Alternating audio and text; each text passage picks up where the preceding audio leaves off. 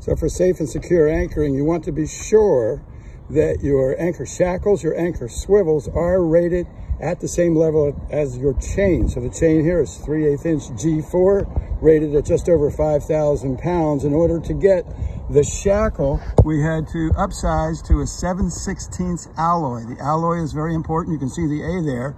This one happens to be made by Crosby with a working load limit uh, of about 5,400 pounds. The only way to get the eye-to-eye -eye shackle at the proper rating was to move up to a 5 8 inch shackle. And again, you can see, or, or a swivel eye, and you can see the uh, 7 16 Crosby alloy alloy shackle. We've got everything uh, safety wired in place so we don't need to worry about those pins, no potential for them to back out.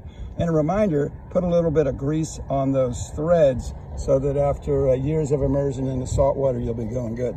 So you want to sleep well at night at anchor. The way to do it is to assure that your ground tackle is all rated and properly installed.